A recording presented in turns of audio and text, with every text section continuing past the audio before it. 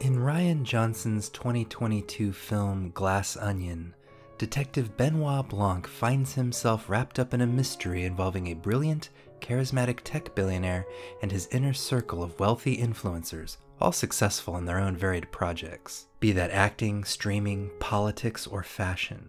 Much to the frustration of conservative simps and great man bootlickers, nearly every wealthy character is revealed to have zero principles, zero substance, and zero wisdom. In the Benoit Blancaverse, the world's rich and powerful are all fools. Fools who are saved by wealth, either inherited from their family or stolen through skullduggery. This concentration of wealth is protected by a pact, just as often unspoken as overt among the 1%, a fierce, unbending class loyalty that celebrates power for its own sake and knows that if any of them are exposed, the entire system they hide within becomes the Emperor's new clothes, with all the full frontal that implies. But I don't want to talk about Glass Onion. It's great, go watch it. Instead, I want to talk about another film from 2022, The Menu, directed by Mark Mylod and written by Will Tracy and Seth Reiss. The premise of the film is simple. A young, well to do foodie named Tyler secures an invite to an exclusive restaurant called Hawthorne, run by world renowned chef Julian Slowik. The restaurant is located on a secluded island compound and seats only 12 diners at a time for its legendary four hour multi course meals. Tyler invites down to earth Margot as his date to the dinner, and while she's initially game for a night of fancy food, she begins to lose patience with the self importance of both the chef and his offerings, and Tyler is clearly far more interested in fawning over Chef Slowik than he is in keeping Margot happy. Unfortunately, she can't storm out. They're on an island, there's nowhere to go. And then it gets weird. Here, I'm going to spoil the entire plot of the menu because what I want to talk about is the climax. I'm someone who personally hates spoilers, so if you're like me, please let the video continue to play while you go watch the menu in another room. That way I get the view count for it. However, I will say that I think this film works very well even if you know the outcome because, in a sense, it is the inevitability of the outcome that I find so powerful, along with the performances of the cast as they get closer and closer to dessert. In films like Titanic, knowing what's coming before the characters do is part of the tragically delicious agony that animates the film, and the menu is very delicious. So here goes. Duh, the diners have been invited to this dinner in order to be killed. See, Chef Slowik takes his work very seriously. He is an artist, and his canvas isn't just the food on the plate, it is each individual experience of inhaling, craving, tasting, and savoring. He has put his entire life into perfecting his craft, sacrificing his time, his body, and his relationships in order to bring people unforgettable, one of a kind experiences. And one by one, each person invited to dine at Hawthorne on this fateful night has been involved in disrespecting and destroying the love he once had for his art. From the finance bros working for the angel investor who kept him afloat during COVID, to the food critic who elevates her status by driving restaurants to close with scathing reviews, to the ultra wealthy older couple who dine with him every week and yet can't name a single dish because they are only there to consume, Chef Slow Slowik has watched his art, his passion, his entire reason for being reduced into a commodity to be traded and a status symbol to inspire envy.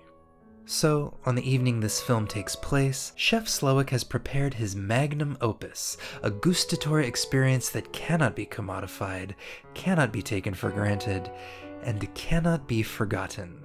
The courses begin as one might expect from any luxury dining experience high quality ingredients, cheeky presentation, but the third course begins to shift the tenor of the evening. The tortillas have evidence of affairs, embezzlement, and other personal misdeeds seared into them. The reaction from the diners ranges from confusion to indignance, but dinner continues. Then comes the fourth course. Chef Slowik introduces his sous chef, Jeremy, after briefly talking up his accolades, Slowik declares that Jeremy will never be a great chef, which Jeremy acknowledges. And with that, Jeremy takes a gun and shoots himself in the head in the center of the dining room. A panic ensues as the diners are not sure whether this is some kind of extreme dinner theater or whether what they witnessed really happened. When one of the guests attempts to leave, the staff restrain him and cut off his finger. The rest of the diners decide this must be a performance and return to their tables, shaken. During the fifth course, male diners are given the option to flee, an option they all take, while their dates remain in the restaurant. Each male guest is recaptured by the restaurant staff without much trouble or resistance. Around this time in the film is when Chef Slowik reveals the truth to the rest of the diners. Because of their behavior, every single person in the building, chef and staff included, will die. The diners protest weakly before falling silent, either accepting their fate or holding out hope that this is some kind of elaborate prank. But something else is revealed as well. Tyler's down to earth date Margot is a sex worker named Erin. Months prior, when Tyler called to set up an invite, he was explicitly told that he and his date would be killed if he attended Hawthorne. But Tyler so idolized Chef Slowik and so desired the status symbol of eating at the restaurant that he decided to leave his girlfriend behind and bring Erin instead.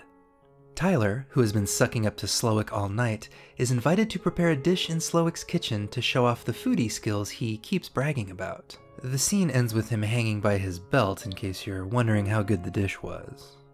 Slowik recognizes Erin as a fellow provider of experiences, and the two share a brief moment of connection. Slowik offers to let Erin die with the staff instead of the wealthy, as she doesn't deserve to be lumped together with society's users and abusers. Erin uses her newfound rapport with Slowik to snoop around his cottage on the island, discovering an article about his humble origins as a fast food cook in a small town. Her snooping pisses off Slowik, who condemns her to die with the guests after all. But then something happens. Erin tells Slowik that his food is pretentious and loveless and that she's still hungry. Slowik is taken aback, having not been criticized like this in many years. When he asks what she wants to eat, she orders a cheeseburger. As he prepares the highest quality burger you've ever seen in your life, that spark of love begins to return to him. When she asks for the burger to go, he allows her to leave. For everyone else, it's time for dessert. S'mores, in fact. Each guest sits obediently as the staff spreads crushed graham cracker all around the dining room. The guests are adorned with marshmallow necklaces and hats made of chocolate.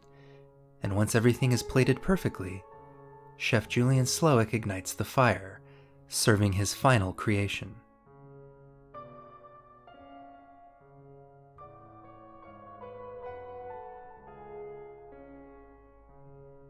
For such a simple film taking place largely in a single location, there are lots of different angles from which to approach it.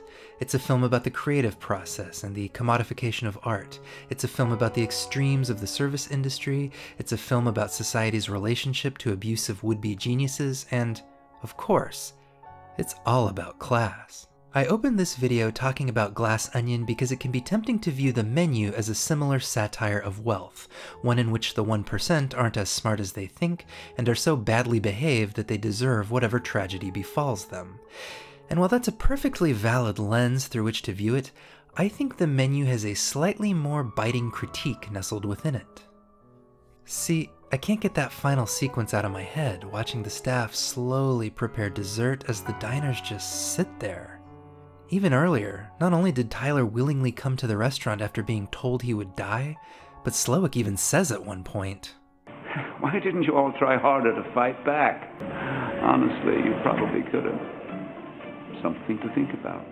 Why did Tyler come to the restaurant? Why did some of society's most rich and powerful people just sit there through indignity after insult after horror?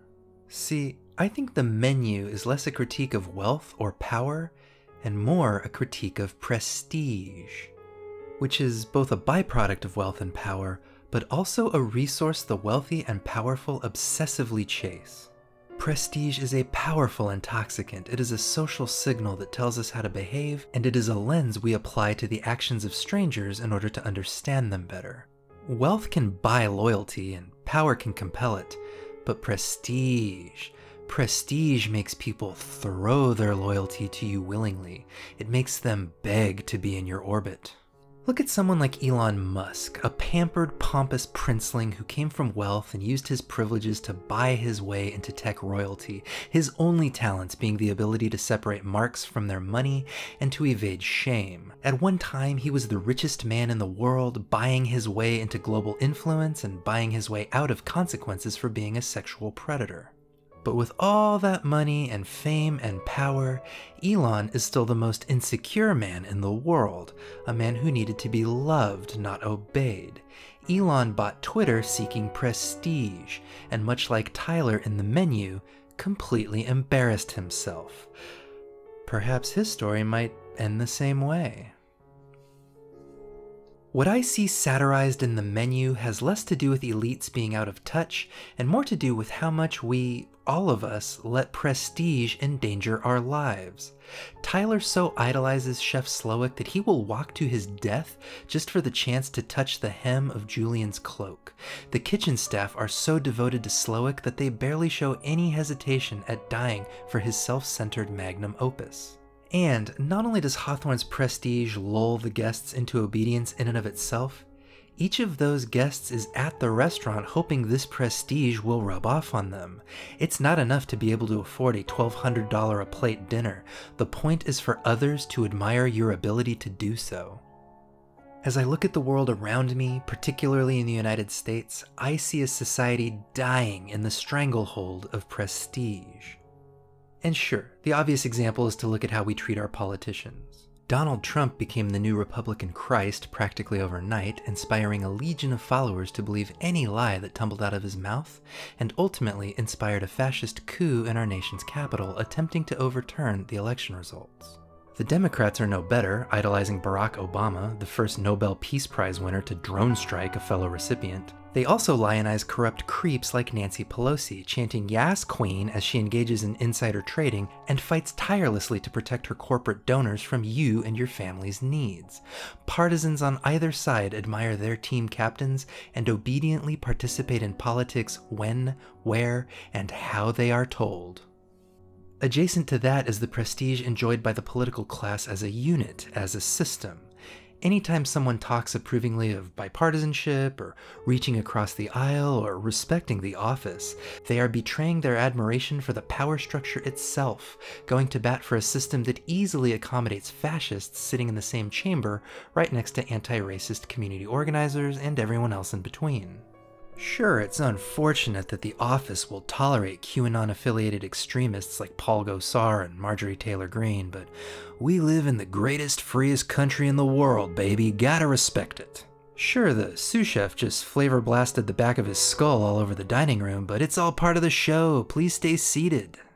Think of how we speak about the police and the military, even in 2023, even amidst thousands of officers murdering unarmed civilians, even amidst the numerous war crimes committed against people in the Middle East and elsewhere. Even amidst cover up after cover up after cover up after cover up, we still salute the flag, back the badge, and thank you for your service. State security forces still enjoy an incredible amount of prestige to this day. Cities willingly shovel the majority of their budgets into their police forces, and the United States military is the most well funded on Earth, with the party of small government complaining that it's still not enough. Prestige is why we allow business mavericks to abuse their employees and visionary auteurs to harass the crew. Prestige is why we allow charismatic influencers to treat their audiences like a meat market. Prestige is why we stare at a machine grinding us to death and can only dream of maybe one day being in the control booth instead of on the conveyor belt. When I watch the final moments of the menu, I am horrified by the docility with which the dinner guests allow themselves to be prepared for the slaughter. Earlier, I proposed that it is the prestige of Slowik and the Hawthorne restaurant that cows the wealthy guests into obedience, but part of me suspects it's something even more terrifying. See, I began this essay describing the way Glass Onion makes a fool out of the wealthy elites and lampoons their willingness to be in 100% solidarity with each other in order to keep alive the illusion of a just world rewarding the best and brightest. In Glass Onion, their commitment to the bit is hilarious. But while the menu is often wickedly funny at times, it shows the inevitable and decidedly unfunny outcome of class solidarity among the wealthy. death by fire for everyone. Do you think capitalists don't know what their system of extraction and waste is doing to society and the planet? Do you think the people who study all the best ways to squeeze the pennies out of your savings accounts don't know what's coming? The petrochemical industry has known about impending climate catastrophe for decades. The UN is well aware that global food supplies are going to be obliterated by the soil destroying consequences of profit motivated agriculture in around 60 harvests. Many of us watching will still be alive then, our children definitely will be. What horrifies me about the final moments of the menu is not thinking the guests have been emotionally broken into obedience. It's thinking that they are content with the prestigious seats they scored for the end of days. What scares me most is thinking that this is a glimpse into the mindset of the capitalist death cult running our lives, that their goal is no longer to live forever, but rather to die admired. They don't want to be saved as long as they're being served. If that's true, there is no cheeseburger ex machina that will unlock the doors and let us out of this system. If we want to live, we're going to have to spit on prestige, violate decorum, and cause a scene. We're going to have to ruin dinner for a lot of people.